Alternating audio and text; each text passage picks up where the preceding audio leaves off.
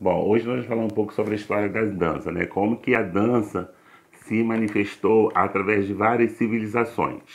Então nós vamos falar um pouco sobre Egito, Grécia, vamos falar um pouco sobre o século, como que a dança era no século XIV, do século XIX até o século XX, como é que o processo da dança ela começou a evoluir, ela começou a crescer. Nós vamos falar um pouco sobre no Egito, como é que era a dança no Egito. Geralmente, as danças no Egito era para representar festas religiosas e funerais de pessoas. Né? Eles faziam todo esse ritual através das danças.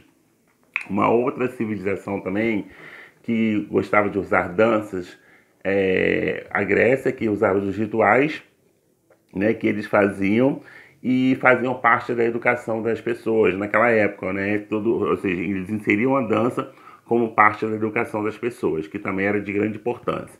Mais tarde, os gregos é, começaram a unir a dança junto com o teatro, teatralizando né, o que os autores representavam falando e ao mesmo tempo dançando. Então, era uma característica importante também a educação dos gregos em relação à dança.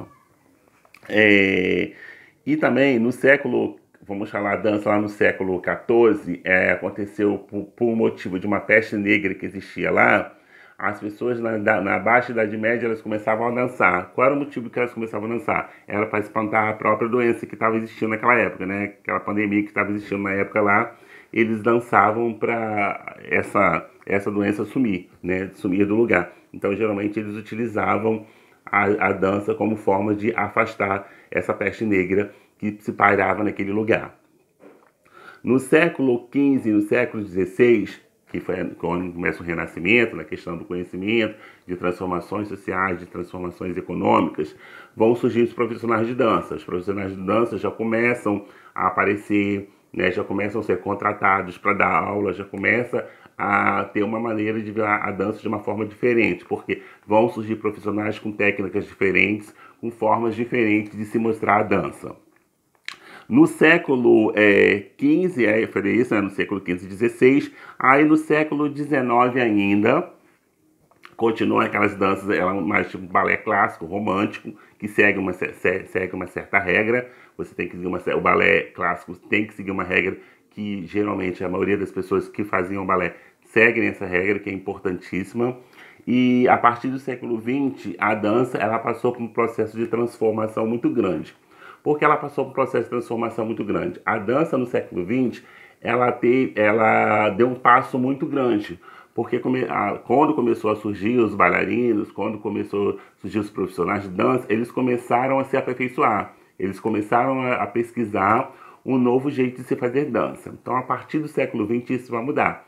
Por que isso vai mudar? Novas possibilidades de dançar vão aparecer, ou seja, a dança contemporânea que é uma dança atual, moderna, vai ser uma dança mais livre, mais solta, com mais movimento. Então, é, os profissionais começam a se aperfeiçoar, começam a estudar para quê? Para trazer é, esse diferencial dentro da dança, que é você fazer os passos livres, você usar movimentos do jeito que você quer, da forma que você quiser, sem ter regras. Então, a dança em si, ela não ficou parada num lugar só, né? A cada dia que passava, ela, as pessoas é, conheciam mais um pouco sobre dança, que a dança é importante e ela precisava andar, né? ela precisava seguir. Então, até hoje, alguns artistas utilizam dança teatro, dança com movimentos diferentes, por quê? Com o passar do tempo, a dança ela foi se aperfeiçoando a cada dia né, em nossas vidas, ok? Bom, agora eu vou falar para vocês um pouco sobre o grupo Corpo, que foi um grupo de dança, né? Um grupo de dança muito importante, que é um grupo de dança contemporânea, como falei com vocês, contemporânea que usa livre, né? Você pode usar passos livres, movimentos do jeito que você quiser. Foi um dos grupos mais importantes que surgiu em 1995 em Belo Horizonte.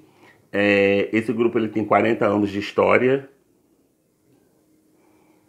Esse grupo tem 40 anos de história conta com 106 bailarinos. Como falei para vocês, é um grupo totalmente diferente, porque geralmente é o contemporâneo. O que é contemporâneo? Contemporâneo é aquela dança livre, aquela dança que os artistas usam em movimentos livres.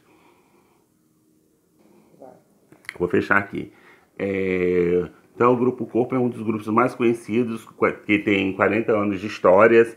Ele é, é, contém é, 106 bailarinos, ganhou vários prêmios, vários lugares do país, então até hoje é um grupo muito conhecido que traz a dança como seu referencial de vida. Então foi um grupo de muito sucesso que eu vou passar alguns links para vocês, para vocês saberem um pouco dessa história do Grupo Corpo, que é um grupo que veio para mudar a forma de se trazer dança, né? De danças, movimentos diferentes, movimentos livres. Ou seja, o artista ele trabalha o corpo o tempo todo. Ele, ele não trabalha só a dança, mas ele trabalha também a performance que ele vai representar através da sua apresentação, através da dança.